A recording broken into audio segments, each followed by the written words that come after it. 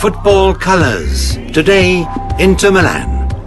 Milan, Italy is home to the football club Internazionale Milano, known simply as Inter. They have won 18 league titles, 7 Italian Cups, 5 Italian Supercoppa, 3 Champions League Cups, 3 UEFA Cups, 2 Intercontinental Cups and a FIFA Club World Cup. The only Italian team never to have been relegated from the First Division. But what is its origin? Where do football colours come from? A un certo punto quelli del Milan decidono che non si possono eh, avere stranieri allora una parte del consiglio decide di andarsene dal Milan, perché loro sì, volevano dedicarsi e volevano aprire le frontiere a tutti i giocatori, che fossero italiani, svizzeri, di ogni paese, con una visione politica, sociale, culturale impressionante per l'epoca. Era l'epoca dei nazionalismi, l'inizio Novecento, era l'epoca delle grandi, stava per ricominciare la Grande Guerra, quindi era difficile poter pensare in maniera così aperta.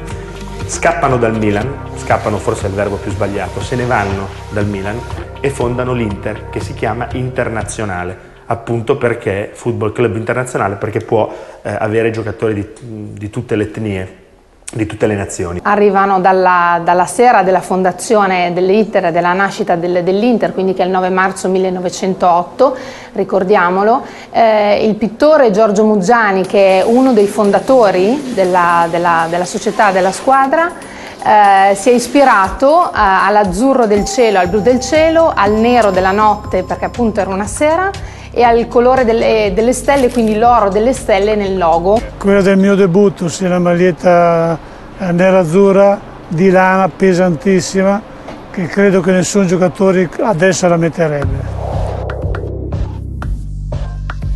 As an indirect result of the colours of the new coat of arms, the first shirt was blue with vertical black stripes.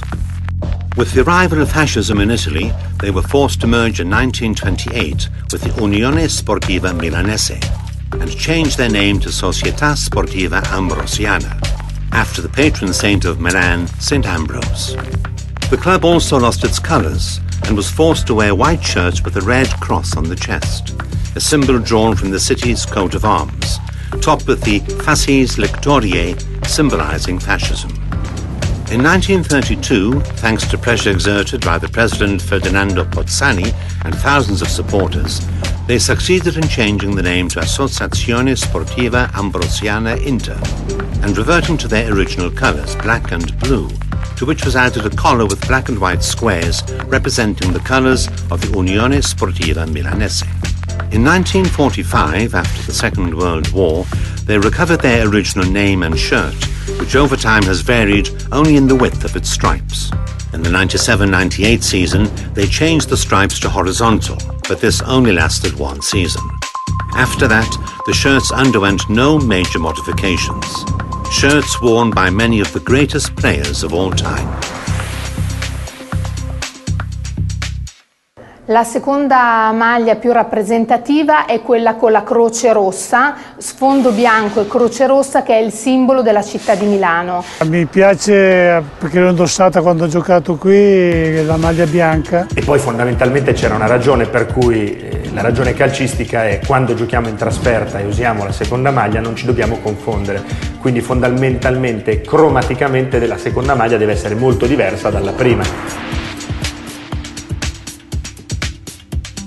In 1908, the original shield had the colours blue, black and gold, and the club's initials FCIM surrounded by a modernist-style circle.